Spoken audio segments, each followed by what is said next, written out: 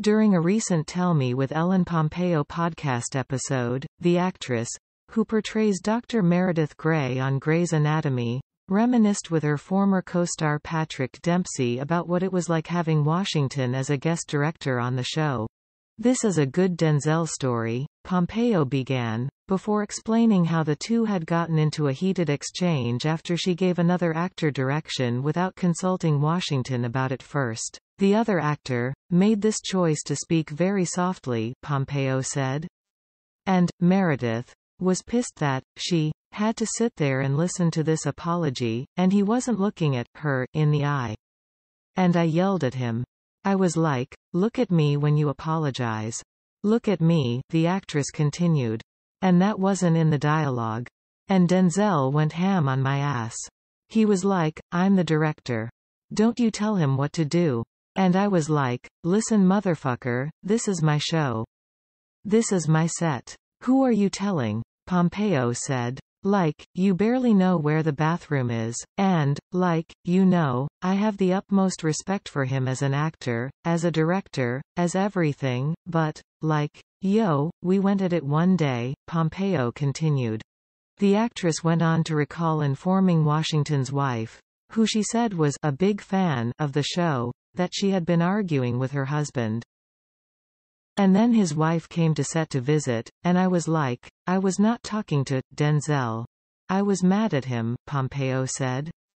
I told his wife, I was like, he yelled at me today.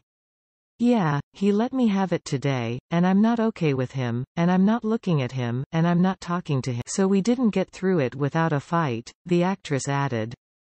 But that's actors for you, passionate and fiery, and that's where you get the good stuff. So, it was an amazing experience, it really was. Pompeo's story about her encounter with Washington, however, was not well received by fans. White privileging at its finest, one Twitter user commented. I don't care that her kids are mixed and her husband is black. No passes given for acting like an ass. Imagine calling Denzel Washington, motherfucker, to his face and then telling a magazine about it. And thinking it's a good story to share, another wrote. If a black actress yelled at a legendary white director she would get labeled as angry and difficult, another tweeted.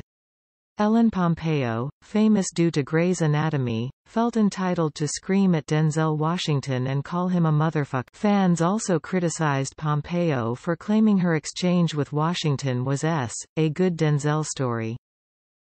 Unbelievable that she would call this a good story, ONW Twitter user commented. My tone for, this is a good Denzel story is a lot different to hers, another wrote. It was not a good Denzel story, a third reacted. So she disrespected Denzel Washington and then tried to play victim to his wife and she thinks this is a good story, another tweeted. I keep trying to root for her cause of enjoyed Greys so much but the stories she tells on herself keep getting worse and worse.